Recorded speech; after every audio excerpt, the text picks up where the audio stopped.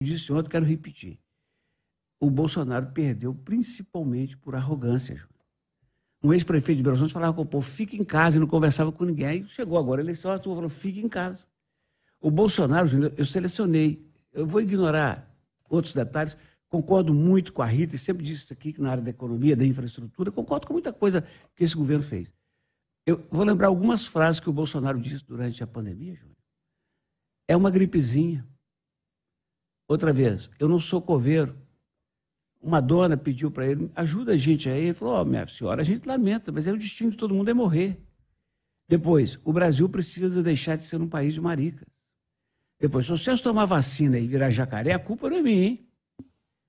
Depois uma dona falou, mas presidente, o senhor não vai comprar vacina? Eu falei, comprar vacina, minha filha, só se for a sua mãe.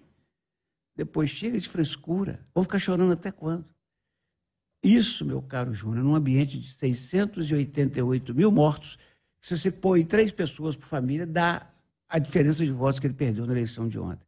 E eu disse ontem à noite, vou repetir. Alguém vai dizer, ah, Eduardo, você está exagerando. Família de vítimas sofreu assim com o Bolsonaro? Sim, nós temos o Zé Ferreira aqui, que é dos Serviços Gerais da Itatiaia e que comentou aqui para todo mundo ouvir. Que três dias depois que a filha dele morreu de Covid, o Bolsonaro estava na televisão assim, ah, tá morrendo, ah, ah, ah, imitando quem estava morrendo sem ar.